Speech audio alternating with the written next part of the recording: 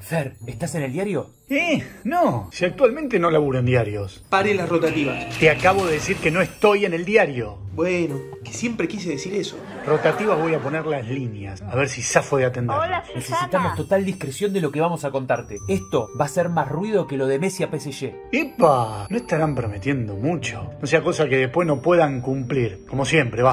Que tenemos la noticia argentina más importante de todos los tiempos. Más importante que la muerte de un presidente en ejercicio como Roque Sáenz Peña o Perón. Sí, claro, eh, mucho más importante que eso. Más importante que la noticia de la vuelta de la democracia, por ejemplo. Eh, sí, obvio, mucho más. Más importante que la catástrofe que significó... Bueno, Fer, quizás exageramos, no es lo más importante de todos los tiempos. Pero quizás sí de los últimos siete años. Donofrio lo va a rajar a Gallardo. ¿De dónde sacaron ese disparate? ¿Cómo van a echar al mejor técnico de la historia de River? Van a terminar tirando la primicia a tus colegas, Pavlovsky, Queijeiro, Betular. Se están apresurando, muchachos. Todavía le queda cuatro meses de contrato. Pero en el fútbol mandan los resultados, Fernando. ¿No viste el baile que se comió River? Te digo más, estás por poner una escola dos samba. Bueno, es cierto que Mineiro fue muy superior, pero no creo que Donofrio... Lo de la escuela do samba es posta. Mirá, a Gallardo en cuatro meses se le termina el contrato. ¿Me seguís? Sí, te sigo.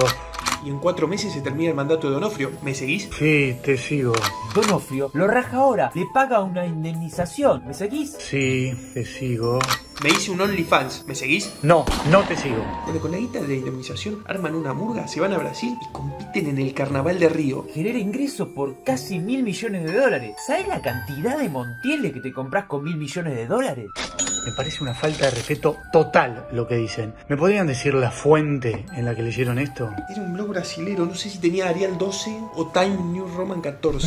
Sí, aparte de portugués nosotros no entendemos nada. Pero había una foto de Donofrio con las plumas y todo bailando en una carroza. Ajá. ¿Y no hay posibilidades de que esa foto esté trucada, por ejemplo? ¿No sabemos distinguir entre la cara de Donofrio y el cuerpo aceitado de un musculoso brasilero? Mm, hagamos lo siguiente. Esta noticia es importantísima. Necesito que viajen hoy mismo a Brasil y averigüen todo sobre este caso. Perfecto, ya saco los pasajes. Pasajes, estadía en un cuatro estrellas por tres semanas, clases de buceo, en Natal, todo, ¿eh? A la vuelta me rinden los tickets. Obrigado, Fer. No te vamos a defraudar. Chao, a gente se ve.